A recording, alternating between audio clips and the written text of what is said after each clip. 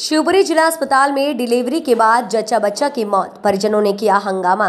शिवपुरी जिला अस्पताल में जच्चा बच्चा की मौत हो गई। इसके बाद परिजनों ने डॉक्टर सहित नर्सिंग स्टाफ पर लापरवाही और नॉर्मल डिलीवरी करवाने के लिए पैसे मांगने के आरोप लगाया है।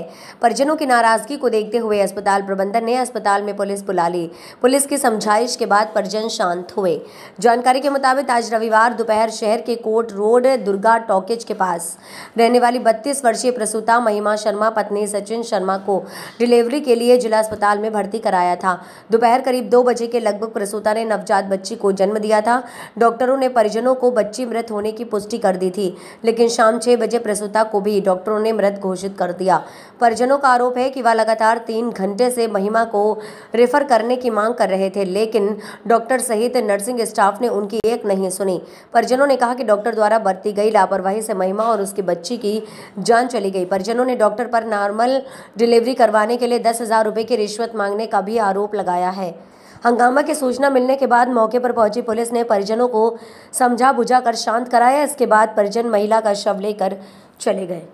हो डिलीवरी तो अच्छे से डिलीवरी सही हो गई नॉर्मल लेकिन वो अंदर से बाहर ही नहीं निकाल रहे लेकर अंदर है, चार घंटा एंबुलेंस आ रही है भैया भाई प्राइवेट एंबुलेंस खड़ी है तो हम चक्कर में भैया। तब तो अभी तक बाहर नहीं निकाल रहे अब कह रहे हैं छह बजे जब ले जाओ।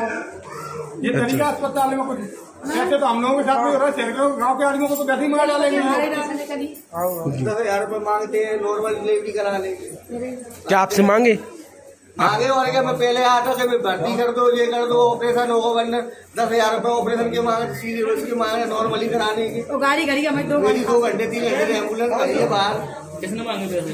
तो वह कोई डॉक्टर नहीं नाम कौन के बता रहे नाम ही नहीं जाने डॉक्टर ने नितिन शर्मा नाम है मेरा। नितिन जी ये क्या मामला है जो मैं छोटी भैया की बहू को लेके आया था डिलीवरी के लिए। मैंने उनसे बोला नॉर्मल डिलीवरी हुई लेकिन नॉर्मल नहीं अभी तो देखना पड़ेगा। मतलब आप देख रहे हैं तो उसको मुझे कम से बताएँ आप कोई चीज़ में आपको परेशानी आ रही है मुझे बताइए। अगर आप संघ में अटेंडेंट को नहीं बताओ किसको बताओगे आप?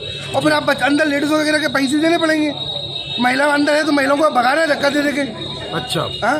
तो मैं अभी जैसे आप पैसों का आरोप लगा रहे पैसे भी मांग रहे पैसे मांग रहे हैं सरेआम मांग रहे हैं यहाँ गार्ड से लेके चौकीदार से लेके सबने पैसा मांग रहा है इसमें जी मैं डॉक्टर नहीं सबकी कह रहा हूँ एक तरफ़ से। और उसके बाद क्या कहते हैं यहाँ पर किस तरह की लापरवाही आपके केस में सामने आई? ये सामने आपके सामने एंबुलेंस में जाता रही लापरवाही और किसी लापरवाही होती है? मतलब इन्होंने रेफर नहीं किया नहीं किया तीन घंटे से रेफर मांग रहा हूँ मैं। जी रेफर नहीं किया। नहीं किया। हॉस्पिटल में ये मशीन नहीं है वो शादी पे लगाने वाली मशीन आती है। जी। वो नहीं है मशीन। और देखा जाए तो सबके घर में मशीनें मिलेंगी डॉक्टरों के पे।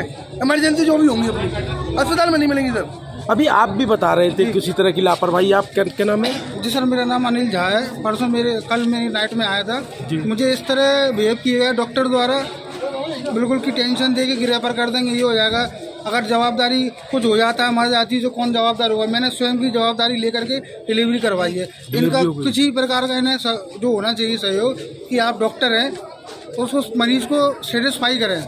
उसको संतोष करें कि नहीं आराम से। लेकिन इस तरह का व्यवहार अमान्य- कहाँ से हैं? अमान्य भी है। मैं सर मनियर से। मनियर से वार्ड क्रमांक पंद्रह से। बाट आपका पेशेंट डिलीवरी हो गई? हाँ तो दोनों बच्चे स्वस्थ हैं लेकिन अपनी जवाबदारी भी करवाया मैंने यहाँ।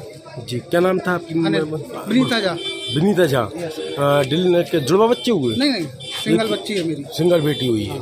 मतलब इन इन लोगों ने आपको डरा दिया था कि रेफर करना पड़ेगा? मैंने अपनी जवाबदारी पे यहाँ पे फिर डिलीवरी करवाई। अब मैं हम दे लेंगे जो भी होगा। क्या करें सर? ठीक।